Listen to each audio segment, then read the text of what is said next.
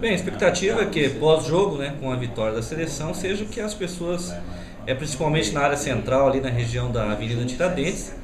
é, vão até as ruas é, com seus veículos, inclusive as pessoas que já estarão nos bares, para comemorar. Então, juntamente com o CETRAN e com a Guarda Municipal,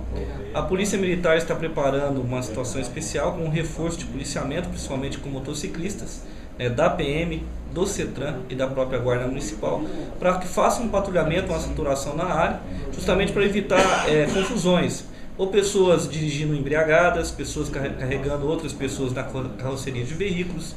é, distúrbios,